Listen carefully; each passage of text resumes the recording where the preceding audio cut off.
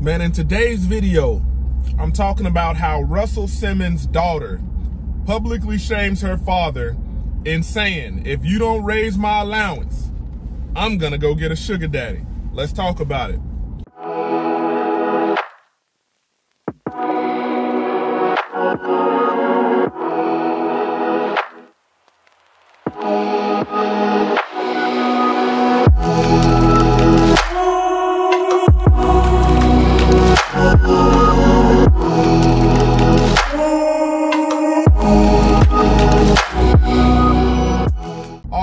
To the Most High Yah Shalom. Thank you for tuning in to another Righteous Spiritful episode.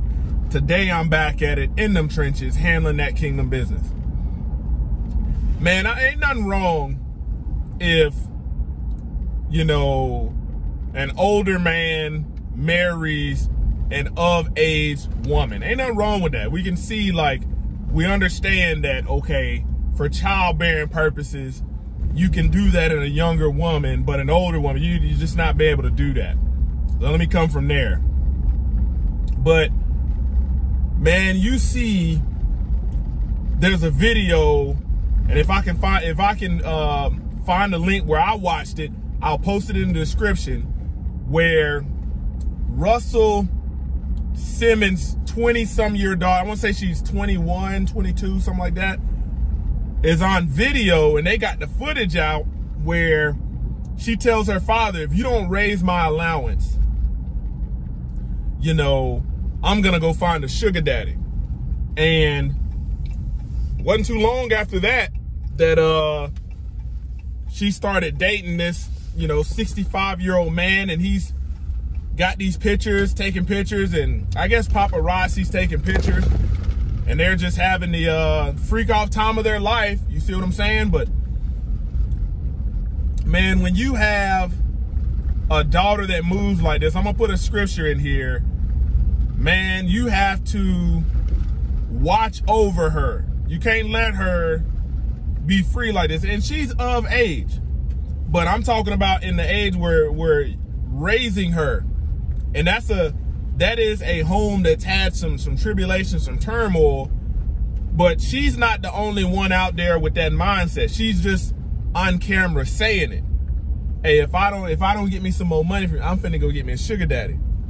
You got a lot of married women out here, you know, that if they're not getting the financial uh backing that they want in their marriage, they all their necessities might be met, but they'll go out and they'll do, they'll do some mess like this, get a sugar daddy. But I will tell you this, you know, being a harlot is one of the oldest professions, dating back over 4,000 years. And no matter how subtle people try to make it seem, oh, you know, he's just a friend and we just go on dates and it's just OnlyFans and it's just this and, you know, we just spend time and he buys me stuff and I, I give him attention and all. Being a harlot is one of the oldest professions out there. And I'll tell you this, man, there's gonna come a come a point for these women that choose this rebellious lifestyle, this lifestyle of sexual immorality and fornication, and it's gonna hit you, and it's gonna hit you like a ton of bricks. Once you got a couple dents in you, and you're no longer the spring chicken like you are, once you uh, no longer have child, you have that childbearing virtue in you, still have that part of your youthfulness.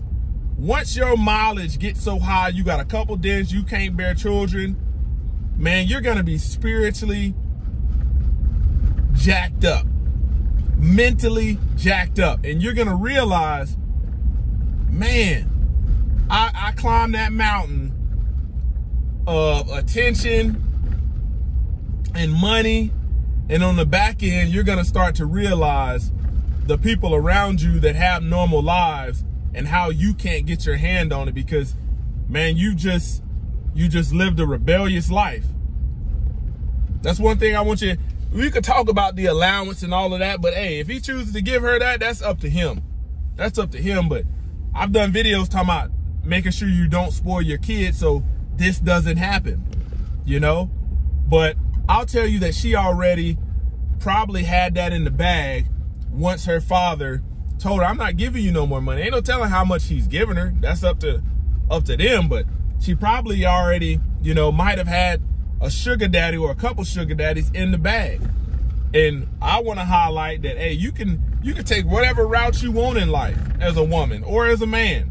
But if you're playing it like that, just know as a woman, one day, once you didn't had when she didn't got all these bodies on you, and you've been out here in the public and they, they got footage of this, it ain't going nowhere.